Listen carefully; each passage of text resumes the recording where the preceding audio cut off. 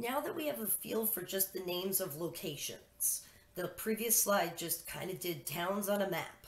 That's all we did. We named locations. Um, let's understand what this yellow outline is over on the right hand side. Um, so, before we even get started, let's orient ourselves.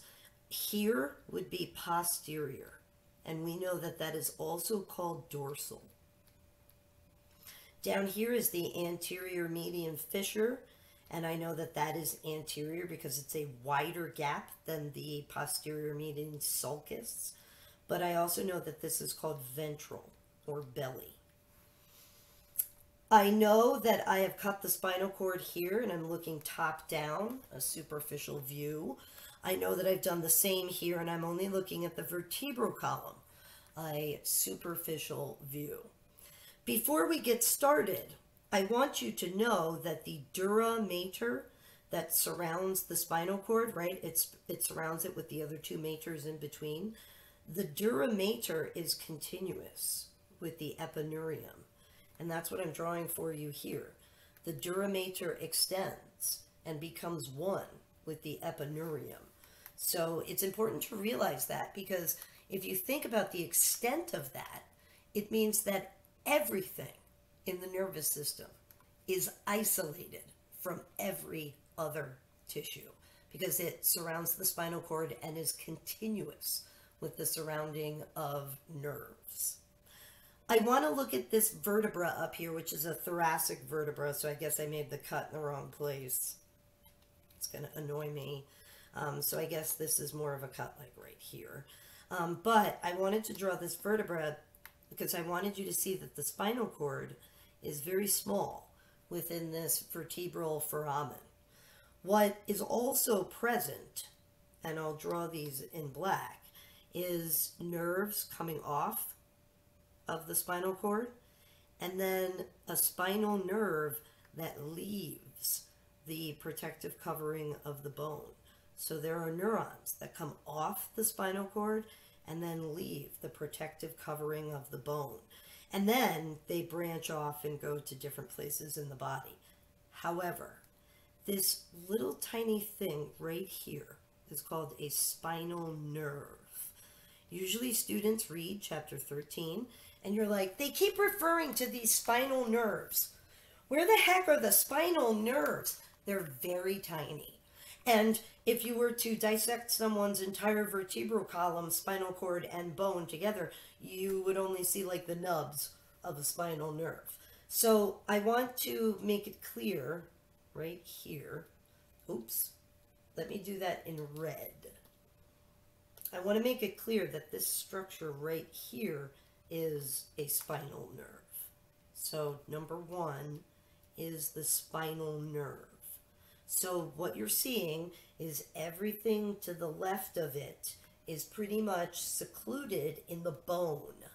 Everything to the right of it is now the peripheral nervous system. It is now outside of the spinal cord and outside of that spinal nerve. So once something gets lateral to a spinal nerve, let's put that lateral, medial, once something gets lateral to a spinal nerve, the information, the neuron itself, is now part of the peripheral nervous system. Okay, so let's label some passageways. And what I want to do first is I, I want to draw a tactile receptor. I don't know if you remember the laminated corpuscles they had this like structure like this to them. We looked at them in skin. And this might be in your arm somewhere, but the neuron that's attached to it comes in to your spinal cord like this. That neuron is a sensory neuron. And let's draw some arrows on it to remember this. It is carrying information in to the spinal cord. This neuron is also called unipolar. That is a word that refers to its shape. And what that means for us here, it means that the cell body is right here in this enlargement. Okay, so this is a sensory neuron. It's unipolar, and its cell body is right here. Okay, all right. Let's also draw a motor neuron. And we know that a motor neuron would be carrying information out through the spinal nerve and out this way.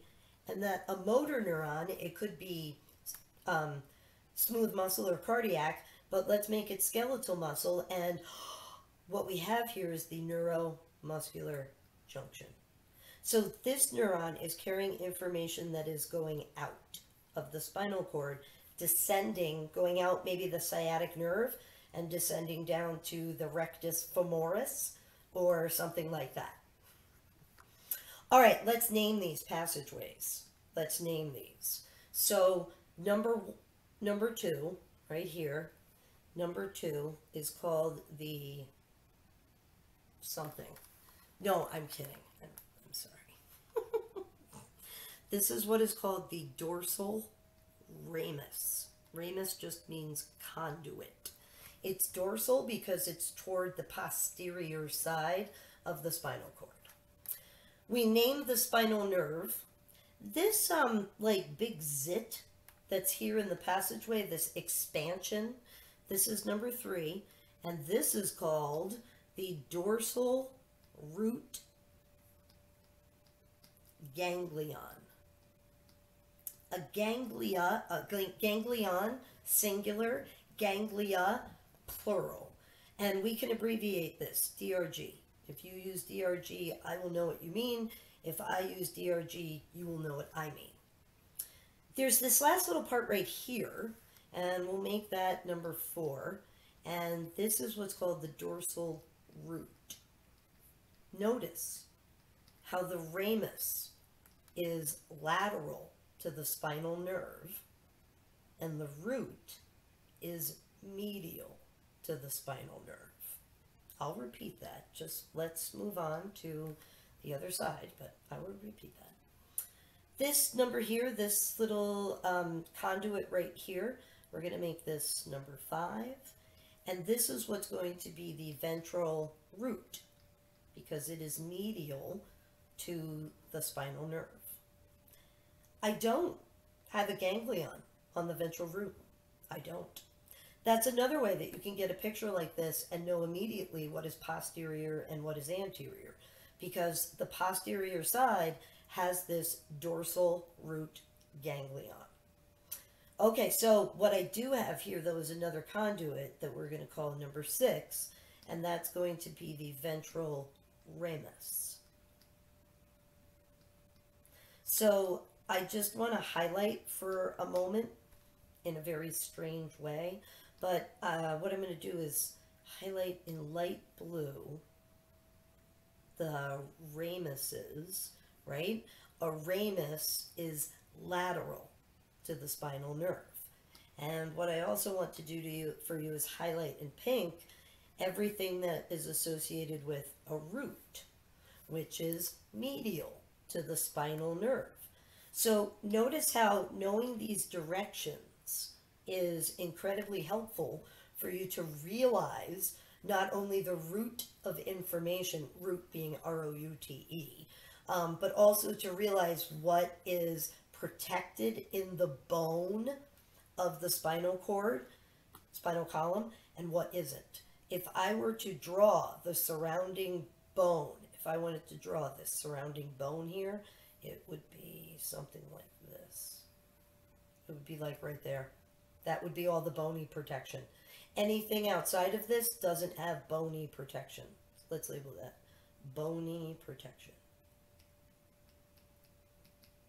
This is basically that cavity I just drew. This is the vertebral foramen. That's the opening up here. There are four other things that I want to draw, and then we'll move on to some other pictures and kind of um, put the whole thing together. Um, but let's label some of these other things. What color do you want them? What color would be festive? Green? We'll do green. what I would like to label here are synapses. They're synapses that are in gray matter. So, looking at this word, what I'm going to label are places where a neuron's axon terminals meet with the cell body of another neuron. As you can see, there's four colors here. And we're going to label these 7, 8, 9, and 10. So these are gray matter synapses. And if two neurons synapse in space number 7, that would mean that their synapse, let's just name these, just work with me here. 7 is somatic sensory. I know you're like, what does that mean? Just, just bear with me. Area 8, we're going to refer to as visceral sensory. So somatic sensory means skin and muscles. Anything, any information incoming from skin and muscles, like from this neuron here. Visceral would be any information coming in from your guts. Number nine is going to be visceral motor. So any information that needs to go out to your guts would come from space number nine. And number 10 is called somatic motor. Any information going to the neuromuscular junction. All right. I did say, I said here that this is a tactile sensory receptor over here on the right.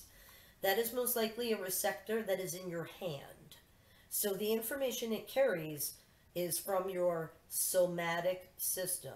And therefore, when this orange neuron, let's highlight the pathway, when an action potential is stimulated and this orange neuron sends an action potential along this route, this action potential will actually end, the neuron will end right here in number seven because information that's incoming ends right there in the somatic sensory area. Now, a couple things could happen at this point, but what we're going to say is that there is a neuron in your spinal column that is making a decision. And, and this neuron here, we, we haven't talked about these yet, I don't believe. This neuron here is going to be an interneuron. It is neither sensory nor motor.